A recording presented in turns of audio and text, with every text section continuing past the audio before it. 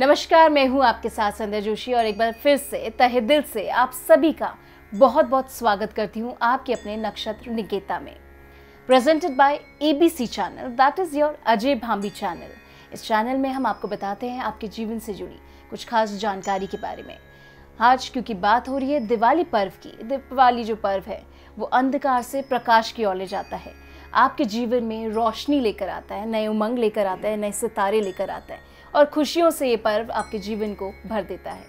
हम बात करेंगे मकर राशि जातकों के लिए कैसा रहेगा ये दिवाली का पर्व? क्या उनके जीवन में भी आएगा एक नया सवेरा? क्या उनके जीवन में जो चल रही परेशानी है, उससे उनको निजात मिल सकेगा? ये सभी बातें हम जानेंगे। इसके लिए आपको जुड़े रहना होगा हमारे इस विशेष कार्यक्रम से। और यही सब बताने के लिए हमारे साथ एक बार फिर से मौजूद है डॉक्टर अजय भांबी जी, जो कि एक वर्ल्ड फ़ेमस एस्ट्रोलॉजर है। साथ ही प्रोडिक्शंस करते हैं एक्यूरेट प्रोडिक्शंस तो बिना देर करें उनका स्वागत करते हैं अभिनंदन करते हैं। बहुत बहुत स्वागत है सर आपका। नमस्कार। नमस्कार। मकर राशि के जातकों के लिए कैसा रहेगा दिवाली का पर्व? क्या उनकी परेशानी हो पाएँगी दूर या आगे वो कार्य क्षेत्र में बढ़ पाएँगे? ये जानेंगे हम सर से। जी सर। मकर राशि के लिए ये बहुत ही अच्छा वर्ष है इस दिवाली से लेकर और उस दिवाली तक अगली दिवाली तक। स्थितियाँ बहुत ही अनुकूल हैं और मनोकूल स्थितियाँ बनेंगी आगे बढ़ने के रास्ते बनेंगे और जो बीच में या शुरू में दो चार साल पहले से अवरोध थे, वो ख़त्म होंगे।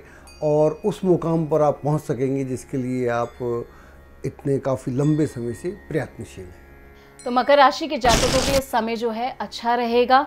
जिन चीज़ों के लिए आप प्रयास कर रहे थे, वो कहीं ना कहीं आप हासिल कर पाएँगे।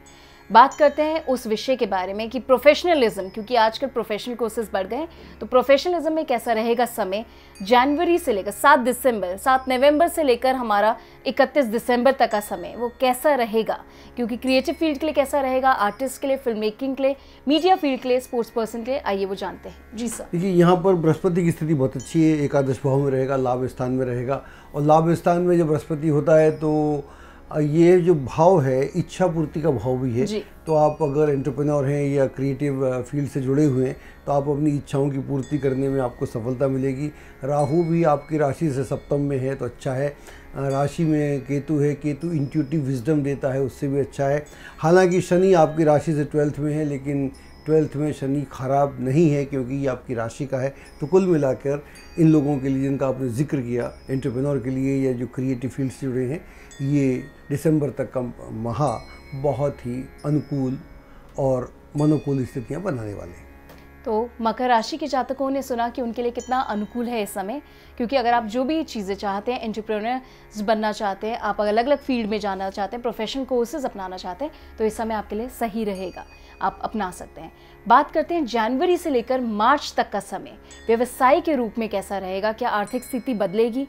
क्या सामान्य रहेगी कि नहीं रहेगी? बिज़नेस पॉइंट ऑफ़ व्यू से इसका कैसा रहेगा? भाव वो जानते हैं। जी सर। इस दौरान में क्या होगा? खास बात ये ये होगी क्योंकि बृहस्पति इस समय अतिचारी है और बृहस्पति इस समय ज्येष्ठा नक्षत्र में रहेगा। जी। सत्ताईस दिसंबर से लेकर और मार्च के एंड तक तो यह नक्षत्र जो है बिज़नेस वालों के लिए बहुत अच्छा है। मरकुरी का संबंध ही बिज़नेस से होता है। तो जो बिज़नेस से हैं, या जो लोग नया काम शुरू करना चाहते हैं, नई पार्टनरशिप करना चाहते हैं, विदेश जाना चाहते हैं, या कोई कोई भी, जो भी व्यापार कर रहे हैं, चाहे फुटकर व्यापार करते हों, छोटे व्यापारी हों, बड़े व्यापारी हों, उन सब के लिए बहुत अच्छा है। रास्ते खुलेंगे और उनको आशातीत सफलता भी प्राप्त होगी। तो आशा की सफलता प्राप्त होगी। क्योंकि जिस तरीके से सर ने कहा कि बृहस्पति अतिचारी है, कहीं ना कहीं इसका प्रभाव आपकी राशि पर अच्छा रहेगा। मकर राशि के जातकों को बस प्रयास करने की ज़रूरत है और कहीं ना कहीं उनके लिए समय काफ़ी अच्छा होने वाला है। बात करते हैं अगस्त से लेकर, मार्च से लेकर अगस्त तक ये कैसा रहेगा समय उन लोगों के लिए जो कहीं ना कहीं सोशल वर्क से जुड़े हुए हैं, सामाजिक कार्य कर रहे हैं और देशभक्ति, देश के लिए सदैव तत्पर तैयार हैं। वो लोग पॉलिटिकल हों, किसी भी बैकग्राउंड से उनके लिए कैसा रहेगा समय, आइए जानते हैं। इस दौरान में क्या होगा एक खास परिवर्तन होगा कि जो राहु है वो छठे भाव में आ जाएगा मिथुन में आ जाएगा। तो अच्छा है बृहस्पति अधिकतर इस पूरे दौरान में वक्री रहने वाला है तो वक्री बृहस्पति भी ख़राब नहीं है। तो यह जो पीरियड है उन लोगों के लिए अच्छा है संबंध बनाने के लिए अच्छा है। जब आप नए संबंध बना रहे हैं या सोशल मीडिया से संबंध रखते हैं या आप पॉलिटिक्स से या सामाजिक कार्यों से जुड़े हुए हैं तो जो भी कम्युनिकेशन वाला काम है जहाँ आप लोगों से मिलते हैं संबंध बनाते हैं या किसी खास प्रोजेक्ट के ऊपर आप काम करते हैं एन से संबंध रखते हैं तो उन लोगों के लिए बहुत अच्छा है। भावी योजनाओं के लिए भविष्य की योजना बनाने के लिए और उन पर काम करने के लिए बहुत ही अच्छा समय है।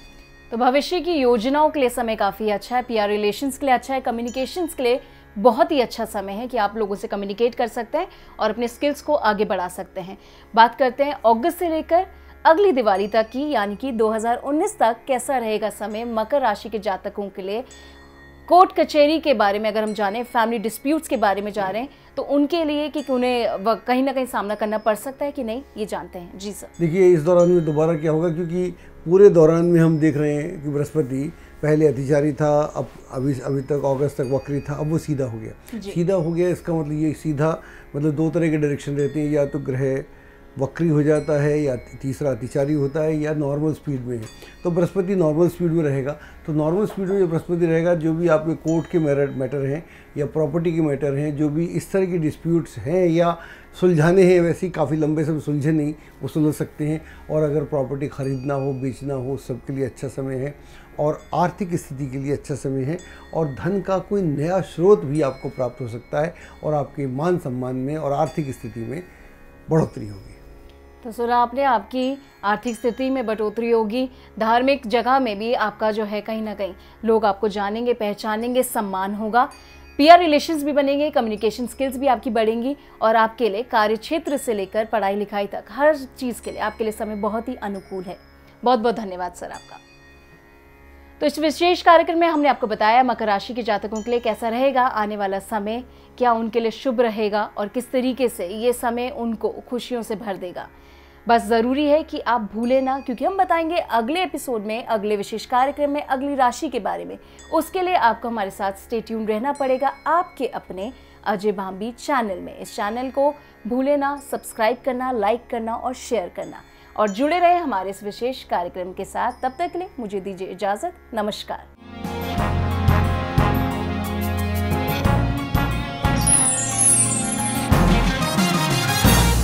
एस्ट्रोलॉजी की सटीक जानकारी के लिए विश्वविख्यात एस्ट्रोलॉजर अजय भाम्बी के यूट्यूब चैनल एबीसी चैनल को सब्सक्राइब लाइक और शेयर करें। लेटेस्ट अपडेट के लिए बेल के बटन पर ज़रूर क्लिक करें।